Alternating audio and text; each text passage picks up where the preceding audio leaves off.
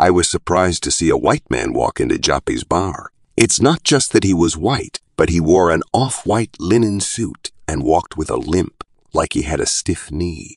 From Devil in a Blue Dress by Walter Mosley. Walter Mosley is an acclaimed American novelist known for his crime fiction, most notably the Easy Rawlins mystery series, which debuted with Devil in a Blue Dress in 1990.